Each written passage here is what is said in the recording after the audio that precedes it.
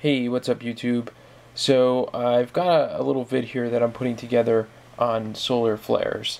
And uh, you guys should know me by now. I try to uh, check everybody, keep everybody level-headed, and uh, you know play devil's advocate when I can and whatnot.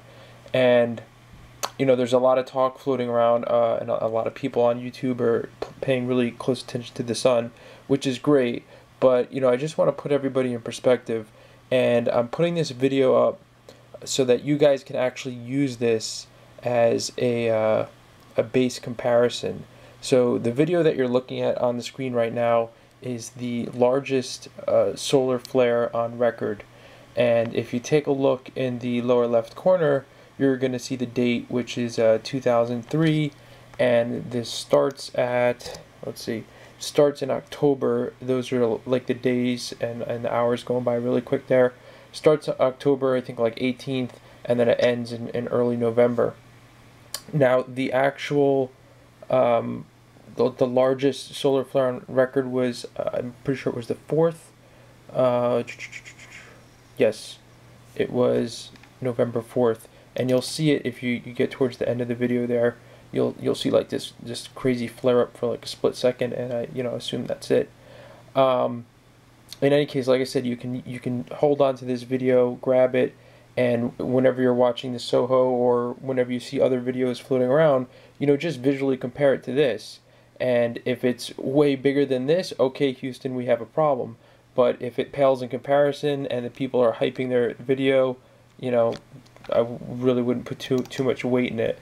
Um, just to give you some other general background, your solar flares are, are categorized in three classes uh, letter C, letter M, and letter X. C is the smallest, M is uh, medium sized, and X is the biggest.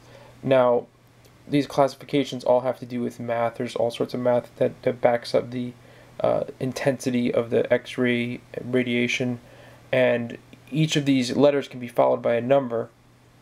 This solar flare that you're looking at, again, uh, from what I understand, is the largest on record.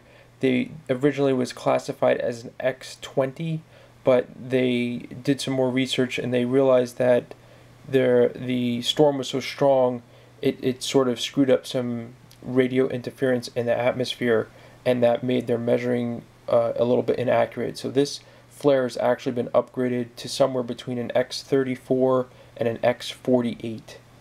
Uh, and again, from what my research, this is the strongest on record. So about X48 is seems to be you know about the maximum.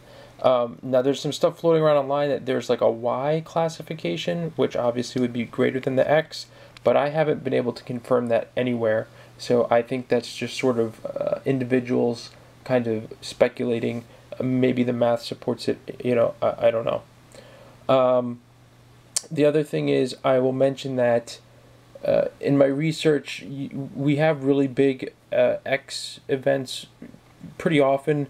Um, there's a, a couple that I'll rattle off here. August 1989, there was a big X20 event, and then there was a famous one, March 6, 1989, that actually knocked out a bunch of uh, Canadian infrastructure.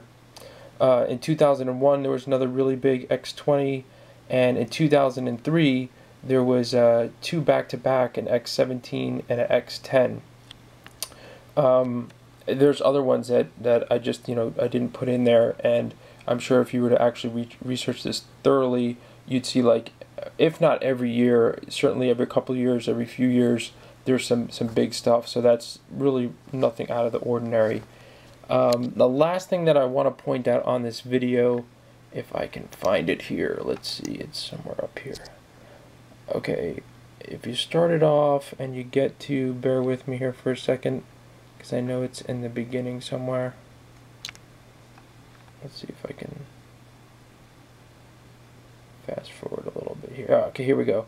If you get to October 23rd, and you're going to see uh, what looks like a star or a, a planet or a meteor or whatever glowing. It comes in from the, the top right and it goes across to the left. Um, I'm going to guess that that's Venus because lately I've heard people talking about seeing Venus floating around near the sun. But the thing that I'm pointing out is like, look, this is 2003 and we're seeing this bright glowing object flying by the sun. So all these videos that I see out lately that are like, oh my god, look, there's something floating near the sun and it's bright and it's shining and it's doing its thing. Uh, again, I'm not an astronomer, but I have a feeling that that stuff happens all the time. And if you go back and you look at the video stuff, you know, you'll probably confirm that. So that's it. Uh, again, I, I, hope you guys hang on to this vid and, and use it as a base comparison uh, on any future sun videos that you see. And I actually have uh, some more video that I collected that maybe I'll, I'll just throw up just so you guys can take a look at it. It's kind of interesting. And uh, that's it. Later, YouTube.